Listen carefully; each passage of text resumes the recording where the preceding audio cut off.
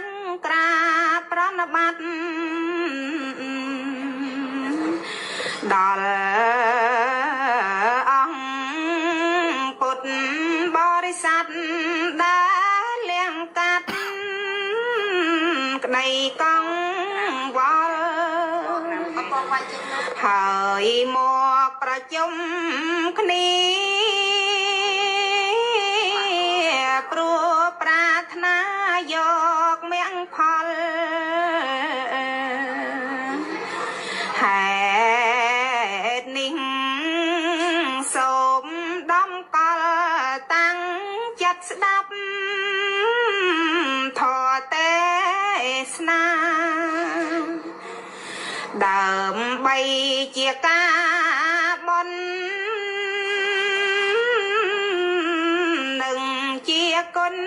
ច្រើនណាស់ណា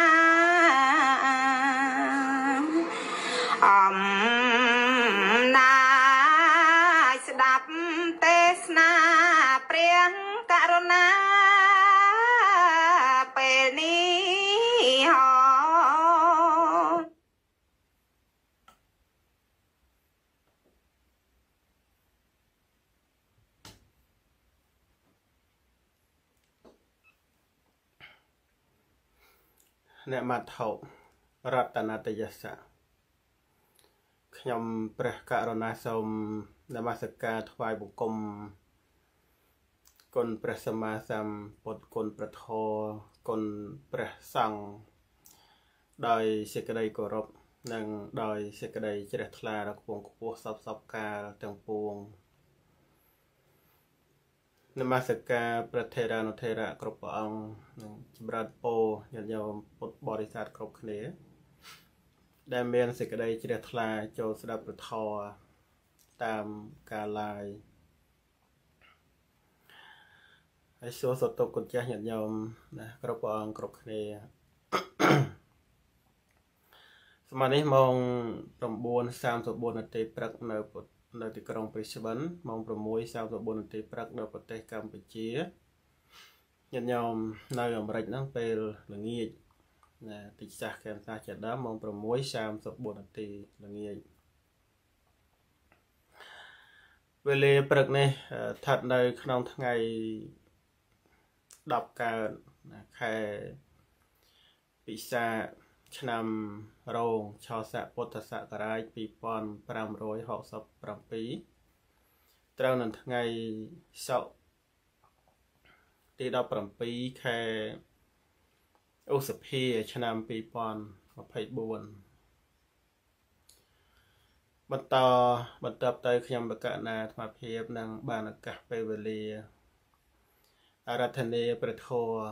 នៅក្នុងគម្ពីរខុទ្ទកនិកាយគាថាធម្មបទក្នុងព្រះមណៈវគ្គទី26រឿងលេខរៀងទី37គឺរឿងព្រះនាងធម្មទនីធេរីយកមកសម្ដែងដើម្បីបានជាធម្មទានពេលព្រឹកជាបន្តកណាគុណចាស់ញាតិញោម អ្នកមានសេចក្តីជ្រះថ្លាចូលស្ដាប់ពធបានសម្រេចបនធម្មទានហើយចែករំលែកវីដេអូដើម្បីបានជាធម្មទានបន្តណាព្រះគាថាដែលព្រះបរមសាស្តាព្រះអង្គសម្ដែងក្នុងរឿងព្រះនាងធម្មទិនាធេរីនេះ គឺមានសម្ដែងនៅក្នុងបៃដកភាគ52ទំព័រ110ខ្ញុំនៅអាត្មាពរនារឿងខាងដើមហើយលើយកគាថាណាមកអធិប្បាយនៅខាងចុងកាលណាគុណចាស់ញាតិញោមអ្នកដែលធ្លាប់បានសិក្សាធ្លាប់បានស្ដាប់នៅពធព្រះវិន័យក្នុងពុទ្ធសាសនាប្រកាសជាធ្លាប់បានឮឈ្មោះព្រះនាងទេហមតិនេធេរី ហើយនឹងស្វាមីរបស់គាត់ គឺវិសាខាឧបាសកណានៅក្នុងអត្ថកថាធម្មបទនេះ គឺនិយាយខ្លីទេមិនច្រើនទេតែនៅក្នុងប្រសូតខ្លះដែលមានសម្ដែងតាក់ទងទៅជាមួយនៅវិសាខាបាសកហើយនៅពនាងធម្មតិនីនោះគឺមានសួរឆ្លើយធัวច្រើនណា តែក្នុងទីនេះគឺនិយាយសង្ខេបសង្ខេបទេអញ្ចឹងសេចក្តីខាងដើមរឿងនិទានខាងដើមយ៉ាងណា មានសាច់រឿងដូចម្ដេចក្នុងរឿងព្រះនាងធម្មតិនធេរីមូលហេតុអីបានជាព្រះនាងទៅបួសណាចង់ដឹងគុណចាស់ញាតិញោមស្ដាប់ទាំងអស់គ្នាទៅ ក្នុងការនោះព្រះបរមសម្មាសម្ពុទ្ធព្រះសម្មាសម្ពុទ្ធបរមគ្រូព្រះអង្គទ្រង់គង់នៅ ក្នុងវត្តវេលវ័នព្រះអង្គទ្រង់ប្រារព្ធភិក្ខុនៃឈ្មោះធម្មតិនីត្រាស់ពធទេសនាមានពាក្យថាយសៈបរិចៈជាដើម ណាដែលប្រែថាបុគ្គលណាមិនមានសេចក្តីកង្វល់ក្នុងការមុនផងហ្នឹងគឺសេចក្តីខាងដើមនោះណាណាយសៈបរិចៈហ្នឹងគឺថាបុគ្គលណាមិនមានសេចក្តីកង្វល់ក្នុងការមុនជាដើមហ្នឹងចឹងចូលដល់វគ្គវិសាខឧបាសកសម្រាប់អនាគាមិផល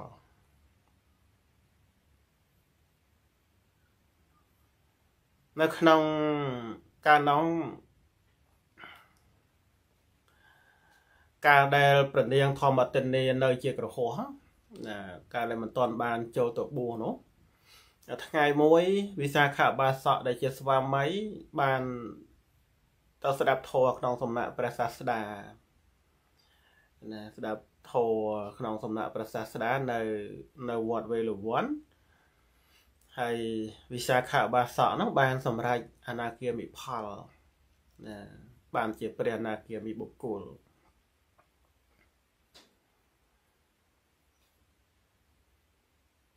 នៅពេលដែលវិសាខបាសកបានសម្រេចជាព្រះអនាគាមិបុគ្គលហើយនោះឯង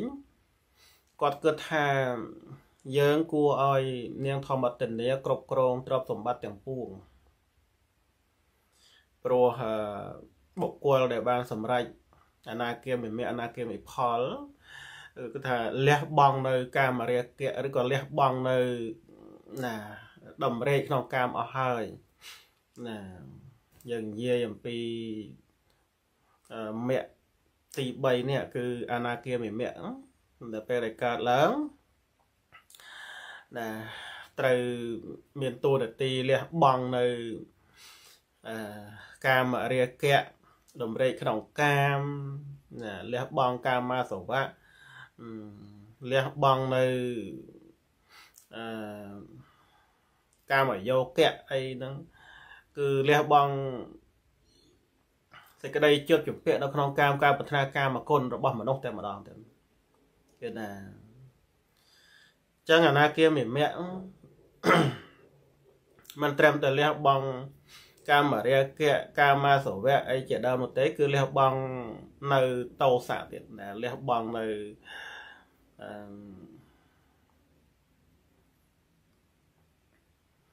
បដិខៈណាលះបង់នៅ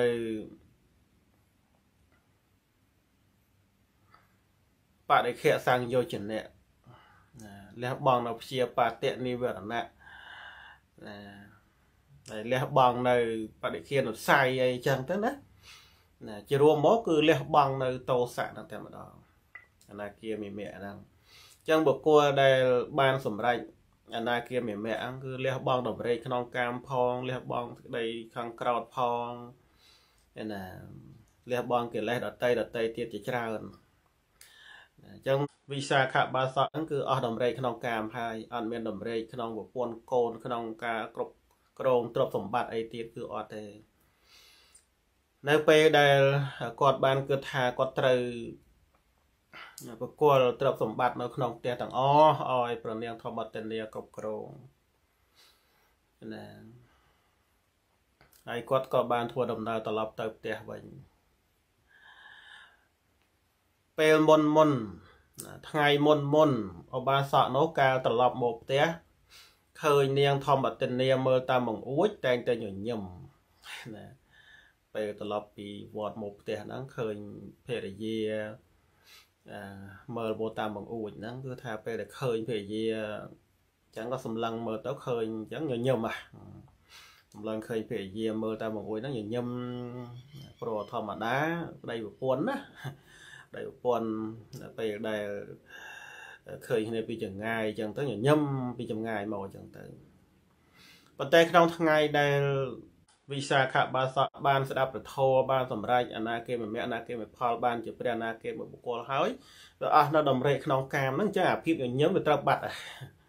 ភាពញញឹមហ្នឹងគឺត្រូវបាត់ឯងតែម្ដងទៅណាត្រូវវិនិច្ឆ័យទៅដោយខ្លួនឯងតែម្ដងណាពេលដែលគាត់ធ្វើដំណើរត្រឡប់មកដល់ផ្ទះក្នុងថ្ងៃនោះគាត់មិនបាន សម្លឹងមើលនាងធម្មទិនីដែលឈរនៅត្រង់បង្អួចនោះឡើយកុំថាឡើយញញឹមទាំងសំបីតែសម្លឹងមើលក៏អត់សម្លឹងមើលដែរណាព្រោះថ្ងៃមុនមុនដែលនៅជាបទុជនមកដល់ផ្ទះតែងតែសម្លឹងមើលប្រពន្ធណាសម្លឹងមើលពីចងាយមកតាមបង្អួចឃើញប្រពន្ធនៅមើលប្រពន្ធនៅចាំផ្លូវនោះណាឃើញហើយក៏ញញឹមពីចងាយមក តែក្នុងថ្ងៃដែលបានសម្រេចធោបានសម្រេចអនាគមមគ្គអនាគមផលកុំថាឡើយថាមិនញញឹមសំបីតែសម្លឹងមើលប្រពន្ធអឺដែលឈោតាមបង្អួចចាំប្តីនោះក៏អត់សម្លឹងមើលផងណាគាត់ដើរទៅធ្វើប្រងើយប្រងើយទេណាដើរណាចូលទៅផ្ទះនឹងធ្វើប្រងើយប្រងើយដូចមានរឿងអីក្នុងចិត្តអញ្ចឹងណាប៉ុន្តែมันមានរឿងក្នុងចិត្តទេ មានន័យថាណាអនាគាមិបុគ្គលហ្នឹងគឺអស់សេចក្តីកង្វល់នៅក្នុងកាមចឹងតែម្ដងទៅមិនមានសេចក្តីខ្វល់ខ្វាយអីនៅក្នុងកម្មគុណអីទាំងអស់ចឹងហើយធ្វើដំណើរចូលទៅផ្ទះហ្នឹងធ្វើបង្ើយណាដូចជាមិនមានកង្វល់ខ្វល់ខ្វាយរឿងអីទាំងអស់ហ្នឹងហើយចឹងប្រពន្ធឆ្ងល់ពេលទៅប្រពន្ធឆ្ងល់ហ្នឹងនាងធម្មទនិកគឺថាតើមានរឿងអ្វីណោ ស្វាមីរបស់យើងថ្ងៃមុនមុនមិនចឹងទេបើថ្ងៃនេះដូចផ្លាស់ហ្នឹងហើយពេលដែលដល់វេលាបរិភោគអាហារព្រះនាងធម្មទានក៏បានចាត់ចែងអាហារឲ្យដល់ស្វាមីហ្នឹងណាព្រះនាងធម្មទានជាជាភរិយាដ៏ល្អមួយរូបដែរតែនៅបំរើស្វាមីដោយល្អចឹងថ្ងៃនោះទោះបីជា ស្វាមីធ្វើដំណើរចូលទៅផ្ទះបង្ើយបង្ើយមិនសម្លឹងមើលនាងមិនញញឹមដាក់នាងនៅថ្ងៃមុនក៏ដោយក៏ក៏មិនលះបង់នៅវត្តបដិបត្តិនោះដែរគឺរៀបចំអាហារបាយទឹកអីជូនដល់ស្វាមីបរិភោគណាហើយក្នុងថ្ងៃមុនមុនវិសាខបាសកនោះតែងតែនិយាយថាមកបរិភោគជាមួយគ្នាពេលដែលភរិយារៀបចំបាយទឹកណា ជូនអញ្ចឹងតែតែហៅប្រពន្ធមកបរិភោគជាមួយគ្នាប៉ុន្តែក្នុងថ្ងៃនេះថ្ងៃដែលគាត់បានសម្រេចអនាគាមិអនាគាមិផលគាត់អត់បានហៅប្រពន្ធគាត់ឲ្យបរិភោគអាហារជាមួយគ្នាទេគាត់បរិភោគអាហារយ៉ាងស្ងៀមស្ងាត់តែម្នាក់ឯងគឺគាត់មិនបានហៅប្រពន្ធថាមកបរិភោគជាមួយគ្នាដូចមុនមុនគឺអត់ទេហេតុអីគាត់ចាញ់ញាតិញោមព្រោះការហៅ ប្រពន្ធឲ្យចូលមកបរិភោគជាមួយគ្នាដើម្បីនិយាយគ្នាលេងអីពីនេះពីនោះសុបាយអញ្ចឹងទៅក្អាកក្អាយរបៀបដូចថាសាសងដោយពាក្យផ្អែមលហែមអីប្រកបដោយតម្រេកអីចឹងណាប៉ុន្តែដល់ពេលគាត់បានសម្រេចអនាគាមិមៈអនាគាមិផលគាត់អស់តម្រេកគាត់អស់នៅគំនិតបែបហ្នឹងទៀតហើយណាគាត់អស់នៅចិត្តដែលចង់ សបាយចង់សើចសបាយចង់ហៅប្រពន្ធមកបរិភោគរួមដើម្បីនិយាយលេងសើចសបាយអត់មានអញ្ចឹងបានគាត់អឺអង្គុយបរិភោគយ៉ាងស្ងៀមស្ងាត់អញ្ចឹងទៅមិនបានហៅប្រពន្ធមកអង្គុយបរិភោគជាមួយទេណាហើយគុណចេះញ៉ាំស្ដាប់កន្លែងហ្នឹងកុំកុំកុំគិតថាអញ្ចឹងអាណាគាមិមិហ្នឹងប្រកាន់ប្រកាន់មិនចង់ឲ្យគេមកបរិភោគរួមឬថាមិនមែនអញ្ចឹងទេ មិនមែនប្រកាន់យ៉ាងដូច្នោះទេ តែអាចិត្តដែលហៅគេឲ្យមករួមការបរិភោគជាមួយឲ្យមកអង្គុយបរិភោគរួមដើម្បីសម័យដើម្បីសាច់លេងដើម្បីនិយាយពីនេះព្រោះអត់មានអញ្ចឹងពេលហ្នឹងគឺអត់បានហៅប្រពន្ធចូលមកដើម្បីបរិភោគជាមួយខ្លួនទេគាត់បរិភោគយ៉ាងស្ងៀមស្ងាត់អញ្ចឹងទៅហើយព្រះនាងធម្មទាននេះគឺថាស្វាមីរបស់យើងប្រហែលជាខឹងនឹងយើងព្រោះរឿងអ្វីមួយហើយតាមមើលណាណាព្រះនាងធម្មទាននេះគិតបែបហ្នឹងណា ស្វាមីរបស់យើងប្រហែលជាខឹងនឹងយើងដោយរឿងអ្វីមួយហើយគាត់គិតថាប្រកាសប្រកាសជាមានរឿងអីឬក៏ប្រកាសជាមានការខឹងជាមួយយើងក្នុងរឿងអ្វីមួយហើយបានជាប្លែកនៅក្នុងចិត្តរហូតចឹងប្លែកទំបីអាការៈអកប្បកិរិយាក៏ប្លែកចឹងក្នុងវេលាដែលបរិភោគអាហារហើយក្នុងវេលាដែលវិសាខបាសបរិភោគអាហារហើយក៏មកសម្រាប់ អង្គុយកន្លែងអង្គុយសម្រាប់អង្គុយលេងយើងហៅថាកន្លែងអង្គុយសម្រាប់សម្រាប់មុនពេលចូលបន្ទប់អីហ្នឹងណាមុនពេលចូលបន្លប់បន្ទប់គេងឬក៏បន្ទប់សម្រាប់សម្រានអីចឹងទៅហ្នឹងហើយពេលនោះឯងដែលវិសាខបាសហ្នឹងហៅហៅពនាងធម្មទិនីមកហៅពនាងធម្មទិនីមកក៏បាននិយាយជាមួយនឹងពនាងធម្មទិនីថាធម្មទិនី នាងចូលទទួលយកទ្រព្យសម្បត្តិទាំងអស់ក្នុងផ្ទះនេះចុះបកគលទ្រព្យសម្បត្តិនៅក្នុងផ្ទះនឹងអោយនាងទាំងអស់ណាពេលនោះឯងនាងគិតថាធម្មតាមនុស្សក្រោតរមែងមិនអោយអ្នកណាទទួលទ្រព្យសម្បត្តិឡើយតើមានរឿងអ្វីដល់ដូច្នេះហើយក៏បានសួរទៅកាន់ស្វាមីថានាយចុះអ្នកវិញនោះ ចង់ដឹងថាបើប្រគល់ទ្រព្យសម្បត្តិឲ្យប្រពន្ធទាំងអស់អញ្ចឹងចុះខ្លួនឯងទៅណាគឺក៏មានបំណងចង់លេងលះអីយ៉ាងម៉េចអាហ្នឹងបណ្ដាធម្មទានាសួរវិញថាចោនាយនោះណាគិតយ៉ាងម៉េចបើប្រកួតទ្រព្យសម្បត្តិឲ្យប្រពន្ធអស់ហើយនោះណា បើយើងហៅពាក្យធម្មតាថាចោស្វាមីអឺមានបំណងចង់ទៅឯណាចង់ទៅណាតែថាថាលោកប្រើពាក្យនាយចុះនាយនោះបើប្រគល់ទ្រព្យសម្បត្តិឲ្យដល់នាងខ្ញុំទាំងអស់ហើយចុះនាយនោះគិតយ៉ាងម៉េចគិតទៅណាហ្នឹងហើយ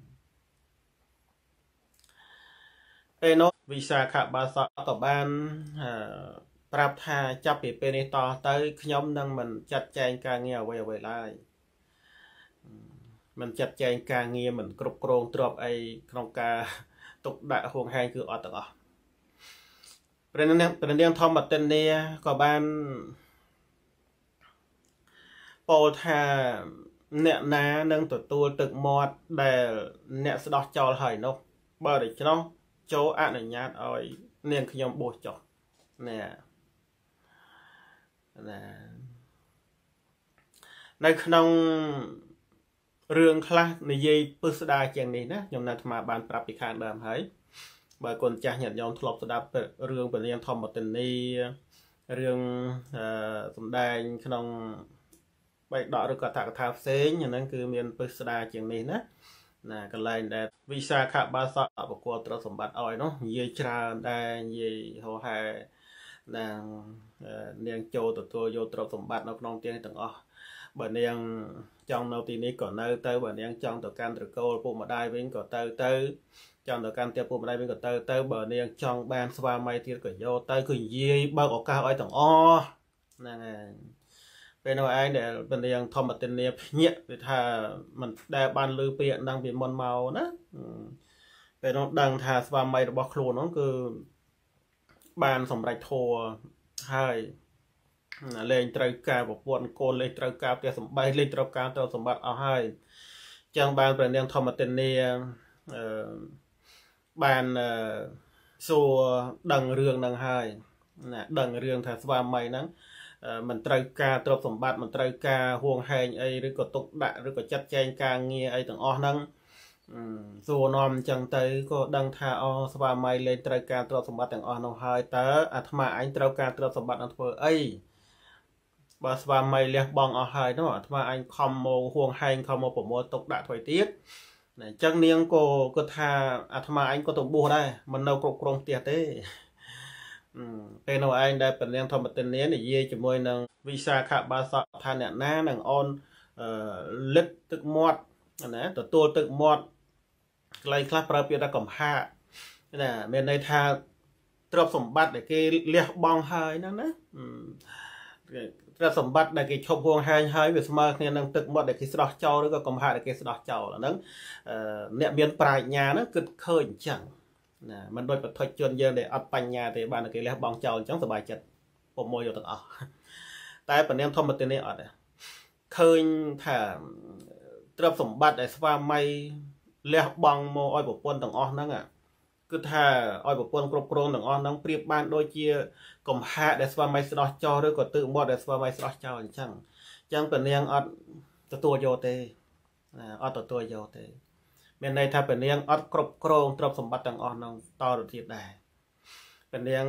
មានបំណងនឹងទៅបួសណាហើយក៏និយាយជាមួយស្វាមីថាបើដូច្នោះចូលអ្នកអនុញ្ញាតឲ្យខ្ញុំបួសចុះ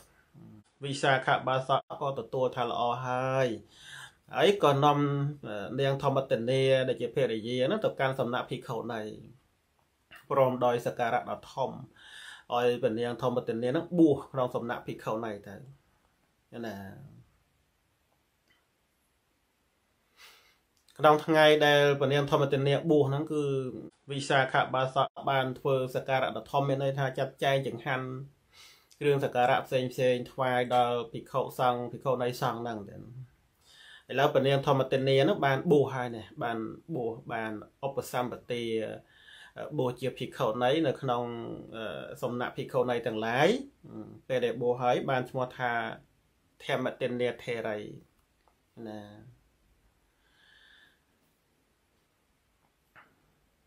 ពេលដែលព្រះនាងធម្មទនីបានបួសហើយនោះបានធ្វើដំណើរទៅកាន់ជនបទជាមួយភិក្ខុណីទាំងឡាយព្រោះត្រូវការវិវេកគឺត្រូវការសេចក្តីស្ងប់ស្ងាត់នៅក្នុងជនបទនោះមិនយូរប៉ុន្មានក៏បានសម្រេចព្រះអរហន្តព្រមដោយព្រះសម្ភិទីណាឧបនិស្ស័យគ្រប់គ្រាន់ពេលដែលព្រះនាងធម្មតនីបានទៅកាន់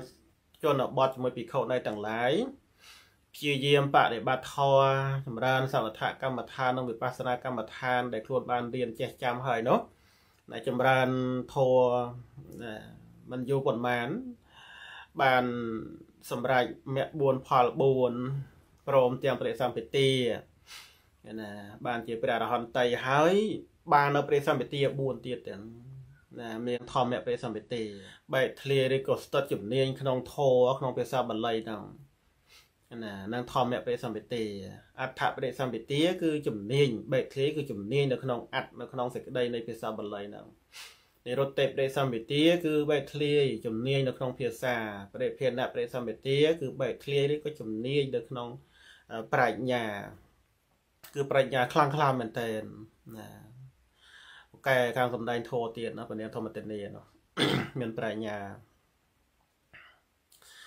ក្រោយមកបានត្រឡប់មកកាន់ក្រុងរាជក្រឹសវិញពេលដែលបានសម្រេចជាព្រះរហន្តីហើយហ្នឹងបានត្រឡប់មកកាន់ក្រុងរាជក្រឹសវិញ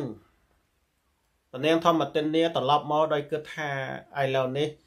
ពួកជនដែលជាញាតអាស្រ័យយើងហើយនឹងបានធ្វើបន់ទៅទៅដើម្បីដឹកនាំពួកញាតដែលបានធ្វើបន់វិសាខបាសកបានជ្រាបថាព្រះនាងធម្មទិនីភិក្ខុនៃមក កាន់វត្តវេលវ័ននៅក្នុងក្រុងរាជក្រឹសវិញហ្នឹងក៏បានគឺថាព្រះធេរីមកដោយហេតុអ្វីណោពេលនោះឯងសំណាក់ភិក្ខុណីទៅកាន់សំណាក់ព្រះនាងធម្មទិនភិក្ខុណីថ្វាយបង្គំព្រះធេរីហើយក៏អង្គុយនៅក្នុងទីដ៏សមគួរមួយវិសាខបាសកគិតថាកាលបើយើងសួរថា នាងម្ចាស់ប្រាថ្នានឹងលាសិក្ខាបទ ឬចង់គិតណាគឺថាបើសិនជាសួរថាតើនាងម្ចាស់ប្រាថ្នានឹងលាសិក្ខាត្រឡប់មកជាក្រហមវិញឬដូច្នេះជាការមិនសមគួរទេបើសិនជាសួរអញ្ចឹងអត់គួរវិសាខបាសកគិតណាគិតនៅក្នុងចិត្តហើយគិតបន្តទៀតថាយើងនឹងសួរបញ្ហាមួយចំពោះនាងណាសួរបញ្ហាមួយមុនដំបូងគឺគិតថាសួរបញ្ហាមួយដើម្បីចង់ដឹងថា តើព្រះនាងធម្មតិនេថេរីហ្នឹងមានបំណងចង់លាចតិខាឬមួយក៏យ៉ាងម៉េចអញ្ចឹងចាប់ផ្ដើមអឺសួរធរមិនសួរត្រង់ត្រង់ថាព្រះនាងអឺនឹងលាសិក្ខាប្រាថ្នាលាសិក្ខាអីគឺមិនសួរអញ្ចឹងទេសួរធរវិញដើម្បីស្ទាបស្ទង់ចិត្តរបស់ព្រះនាងហ្នឹងអញ្ចឹងវិសាខបាសកគិតថាយើងនឹងសួរបញ្ហាមួយចំពោះនាងពេលនោះឯង សួរនោះគឺសួរបញ្ហានៅក្នុងសតតាបត្តមៈទាំងណាវិសាខបាសកលើកជាសំណួរមកសួរបញ្ហានៅក្នុងសតតាបត្តមៈព្រះថេរីក៏ឆ្លើយបញ្ហានោះបានណាឆ្លើយបញ្ហានោះបានអញ្ចឹងវិសាខបាសកគាត់ដឹងបាត់ដែរគាត់ដឹងថាព្រះនាងធម្មទិនាមិនមែនមកដើម្បីលាចតិខាអីទេព្រោះនាងបានសម្រេចធម៌ប្រឆ្លើយបញ្ហាក្នុងសតតាបានឆ្លើយបញ្ហាក្នុងសតតាបត្តមៈបានមានន័យថាព្រះ នាងធម្មទិនាក៏បានសម្រេចធម៌នោះដែរឧបាសកក៏សួរបន្តទៀតសួរបញ្ហាក្នុងសកតិគាមិមៈទៀតព្រះនាងធម្មទិនាក៏ឆ្លើយរួចទៀតឆ្លើយបញ្ហានៅក្នុងសំណួរដែលដែលឧបាសកសាកសួរនៅក្នុងរឿងសកតិគាមិមៈនោះហ្នឹងហើយវិសាខបាសកក៏គាត់សួរតទៀត ណាសួរបញ្ហានៅក្នុងអនាគាមិមៈហើយព្រះនាងធម្មទាននេះក៏ឆ្លើយរួចទៀតឆ្លើយរួចទៀតណាវិសាខបាសកក៏បានសម្រេចសតតាសកតិអនាគាបានសម្រេចមគ្គខាងដើម3ឬក៏យើងប្រើពាក្យថាបានសម្រេចមគ្គខាងក្រោម3ផលខាងក្រោម3អញ្ចឹងបញ្ហាដែលវិសាខបាសកសួរគឺសួរច្បាស់លាស់នៅក្នុងមគ្គនីមួយនីមួយ ណាក្នុងមគ្គនីមួយនីមួយគឺមគ្គខាងក្រោម3ហ្នឹងណាហើយព្រះនាងធម្មទាននេះឆ្លើយរួចទាំងអស់បន្តមកវិសាខបាសកហ្នឹងគាត់សួរដល់រឿងអរហត្តណាសួរដល់រឿងអរហត្ត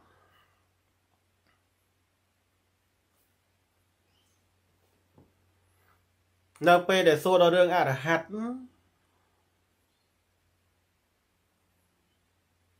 ព្រះនាងធម្មទិនីបាន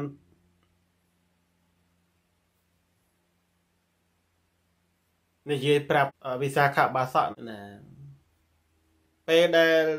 វិសាខបាសក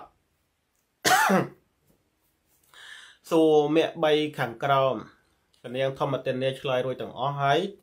វិសាខបាសកហ្នឹងសួរដល់ទៅអរហត្តមគ្គពេលនោះឯងព្រះនាងធម្មទិនីក៏បាន ប្រាប់វិសាខបាសកថាវិសាខមានអាយុលោកសួរហួសបញ្ហាហើយពាក្យថាសួរហួសបញ្ហាមិនមែនប្រនាងធម្មទនីឆ្លើយមិនរួចទេ ក៏ប៉ុន្តែវិសាខបាសកគាត់មិនទាន់បានសម្រេចធัวនោះទេណាអញ្ចឹងបានព្រះនាងធម្មទនីប្រាប់ថាឧបាសកសួរហួសបញ្ហាហើយហើយពោលថាប្រសិនបើពេញចិត្តក៏បីចូលតកលប្រសាស្ដាហើយសួរទូសួរបញ្ហានោះចុះណា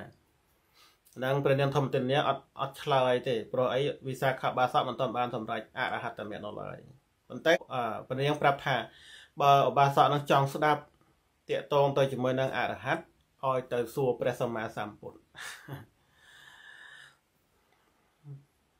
ចឹងពេលនោះឯងវិសាខឧបាសកក៏បានថ្វាយអង្គមព្រះនាងធម្មទនីហើយក្រចាអាសនៈចូលទៅកាន់សំណាក់ព្រះសម្មាសម្ពុទ្ធក្រាបទូលការសន្តានាទាំងអស់នោះដល់ព្រះဓម္មវិភាណាពាក្យដែល វិសាខបាសកសន្តានាជាមួយព្រះនាងធម្មទនីយ៉ាងណាយ៉ាងណា វិសាខបាសកនឹងឯងបាននាំយកពាក្យទាំងអស់នោះឯងទៅ ទូលព្រះសម្មាសម្ពុទ្ធទាំងអស់ព្រះដ៏មានព្រះភិយព្រះអង្គត្រាស់ថាធម្មទិនីធីតារបស់តថាគតពោលត្រឹមត្រូវហើយសំបីតថាគតដោះស្រាយបញ្ហានោះក៏តថាគតដោះស្រាយដូច្នោះដែរអញ្ចឹងព្រះអង្គបានត្រាស់ជាមួយធម្មបានត្រាស់ជាមួយវិសាខបាសកថាព្រះនាងធម្មទិនីដោះស្រាយបញ្ហានោះត្រឹមត្រូវហើយសំបីតែតថាគតក៏ដោះស្រាយដូចគ្នាដែរដោះស្រាយអញ្ចឹងដូចគ្នាដែរដូច្នេះហើយការនឹងទ្រង់សម្ដែងនៅប្រធមព្រះអង្គបានសម្ដែងនៅព្រះគាថានេះណាគាថាព្រះអង្គសម្ដែងជាមួយនឹងវិសាខបាសកប្រារព្ធព្រះនាងធម្មទិនី មានសម្ដែងនៅក្នុងបៃដកភាគ52ទំព័រ110ព្រះអង្គត្រាស់ថាយសៈពុរេចៈបច្ឆាចៈមច្ឆេចៈណដ្ឋិកញ្ចណੰអកញ្ចណੰអនាទាណੰតមហាងព្រមិព្រាមណੰប្រែថាបុគ្គលណា មិនមានសេចក្តីកង្វល់ក្នុងកាលមុនផង ក្នុងកាលជាខាងក្រោយផង ក្នុងកាលជាកណ្ដាលផងតថាគតហៅបុគ្គលដែលជាអ្នកមិនមានកង្វល់មិនមានសេចក្តីប្រកាន់នោះថាជាព្រាមក្នុងព្រះអធិកថាអធិប្បាយគាថានោះថាបណ្ដាបទទាំងនោះបទថាពុរេប្រែថាក្នុងអតីតបានដល់ក្នុងខណ្ឌដែលជាអតីតគឺមិនមានសេចក្តី កង្វល់ក្នុងខណ្ឌដែលជាអតីតដែលកន្លងទៅហើយខណ្ឌ5ហ្នឹងណាតែរូបប្រខណ្ឌវេទនាខណ្ឌសញ្ញាខណ្ឌសង្ខារខណ្ឌនិងវិញ្ញាណខណ្ឌណាចឹងពុរេនេះនិយាយពីក្នុងអតីតគឺក្នុងខណ្ឌដែលជាអតីតណាសម្រាប់ព្រះអរហន្តខៃណាស្រោបមិនមានសេចក្តីកង្វល់ក្នុងខណ្ឌដែលជាអតីតជាដើមនោះទេ ហើយបទថាបច្ឆាប្រែថាអនាគតបានដល់ក្នុងខណ្ឌដែលជាអនាគតណាមិនមានសេចក្តីកង្វល់មិនមានសេចក្តីប្រាថ្នានៅក្នុងខណ្ឌដែលជាអនាគតទេហើយបទថាមច្ឆេប្រែថាបច្ចុប្បន្នបានដល់ក្នុងខណ្ឌដែលជាបច្ចុប្បន្នមិនមានសេចក្តីកង្វល់មិនមានសេចក្តីប្រកាន់មកអីក្នុងខណ្ឌដែលជាបច្ចុប្បន្ននេះទេបទថាណដ្ឋិ កញ្ចណੰមិនមានសេចក្តីកង្វល់ណដ្ឋិហ្នឹងគឺមិនមានកញ្ចណੰគឺកង្វល់ណដ្ឋិកញ្ចណੰមិនមានសេចក្តីកង្វល់ជាដើមសេចក្តីថាបុគ្គលណាមិនមានសេចក្តីកង្វល់ពោលគឺការប្រកាន់នៃតណ្ហាក្នុងឋានៈ3ប្រការឋានៈ3ប្រការហ្នឹងគឺអតីតអនាគតបច្ចុប្បន្ននោះឯងណាមិនមានតណ្ហាដែលប្រាថ្នាខណ្ឌ ឬក៏អឡោះអាល័យខណ្ឌដែលជាអតីតប្រាថ្នាខណ្ឌអនាគតកង្វល់ក្នុងខណ្ឌបច្ចុប្បន្នគឺអត់មានទេអញ្ចឹងព្រះសម្មាសម្ពុទ្ធព្រះអង្គត្រាស់ហៅបុគ្គលនោះអកញ្ចនាងគឺថាជាអ្នកមិនមានកង្វល់គឺមិនមានកង្វល់ដោយកិលេសព្រោះកិលេសមានតណ្ហាជាដើមជាគ្រឿងកង្វល់ណាកិលេសមានតណ្ហាឬក៏មានរាគៈជាដើមជាគ្រឿងកង្វល់អញ្ចឹងព្រះខៃណាស្របមិនមាននៅកិលេសជាគ្រឿងកង្វល់នោះទេបុគ្គលឈ្មោះថាអនាទានੰមិនមានការប្រកាន់មមណា មិនមានការប្រកាន់មមដោយមានអ្នកមិនមានការប្រកាន់មមដោយឧបាទានគឺមិនមានទាំងអស់នឹងព្រះខៃណាស្របលះបង់នៅកិលេសទាំងអស់នោះបានហើយណាមិនមានសេចក្តីប្រកាន់អ្វីអ្វីនៅក្នុងលោកនេះឡើយព្រះអង្គទ្រង់ហៅបុគ្គលនោះឯងថាជាជាព្រាមទាំងណាហៅបុគ្គលដែលមិនមានសេចក្តីកង្វល់ក្នុងខណ្ឌដែលជាអតីតអនាគតបច្ចុប្បន្ន ណាមិនមានសេចក្តីកង្វល់ដោយកិលេសទាំងឡាយមានរាគៈទោសៈមហៈជាដើមអញ្ចឹងទៅមិនមានសេចក្តីប្រកាន់មមនៅអ្វីអ្វីក្នុងលោកទាំងអស់ណាព្រះអង្គហៅបុគ្គលនោះឯងថាជាព្រាមអ្នកមានបាបបន្សត់បងអស់ហើយឬក៏អ្នកបានបន្សត់បងបាបអស់ហើយទៅនឹងប្រគាថានឹងអធិប្បាយប៉ុណ្ណឹងខានយើងបានស្ដាប់ ព្រះនាងធម្មទិនីជាមួយនឹងវិសាខាបាសកដឹងគាត់ជាភរិយាជាស្វាមីអឺរស់នៅជាមួយគ្នាមានសុភមង្គលណាប៉ុន្តែពេលដែលវិសាខាបាសកបានម្រេចអនាគាឈប់ត្រូវការកម្មគុណនៅក្នុងលោកនេះឈប់កង្វល់ក្នុងការគ្រប់គ្រងទ្រព្យសម្បត្តិឈប់មានសេចក្តីហួងហែងក្នុងទ្រព្យសម្បត្តិប្រគល់ឲ្យទៅពនាងធម្មទនី ពនាងធម្មទនីក៏អត់ទទួលយកដែរសុំទៅបួសទៅបួសហើយបានសម្រេចជាព្រះរហន្តទៅទៅណានឹងអធិប្បាយគេថានឹងប៉ុណ្ណឹងក៏ចាស់ញាតិញោម